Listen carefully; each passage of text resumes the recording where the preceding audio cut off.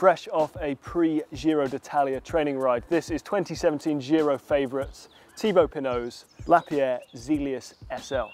Pinot rides for the FDJ team and unlike the rest of the team, he gets his very own custom model. Starting at the top of the bike, like many other World Tour teams, FDJ are sponsored by Fizik for their saddles, and Pinot is riding a Fizik Arione. Pinot's Fizik saddle is attached to a Pro carbon fibre seat post. His stem is also Pro, that's aluminium, and his handlebars are carbon fibre Pro Vibe bars. Attached to the handlebars, Pinot has a Garmin out front mount, and then he has got, like the rest of the FDJ team, FDJ are one of Shimano's favoured test teams, the brand new Shimano Dura Ace group set for 2017. Pinot's pedals are the new Shimano Dura Ace, which are significantly different in appearance from the old ones with way less metal.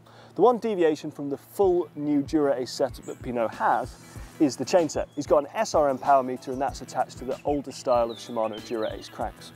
Chain rings are 5339 and he's got an 11 through to 28 cassette. As Pinot is a climbing rider and a GC contender, it's no surprise to see him favour the lighter, but still very aero C40 wheels over a slightly more aerodynamic C60. Although it will be interesting to see if, as the more aero wheels like the C60s become lighter and lighter, GC riders and climbers begin to favour those, especially bearing in mind the speed that those guys ride up on climbs. Brakes are also supplied by Shimano, who's got a direct mount brake up front and a standard mount brake at the rear. Bottle cages are supplied by Elite and they have a couple of blue touches just to match the general theme of Pinot's bike and the rest of the FDJ bikes. And on Pinot's bike, he has got blue bottle cage bolts, which suggests to me that they're titanium, so super light, everything is about weight saving on this bike.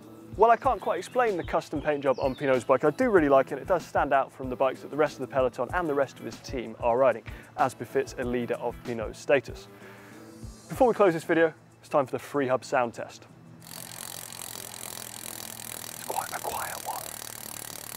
Let us know what you think of Pinot's bike down in the comments and don't forget to give this video a thumbs up and hit share too.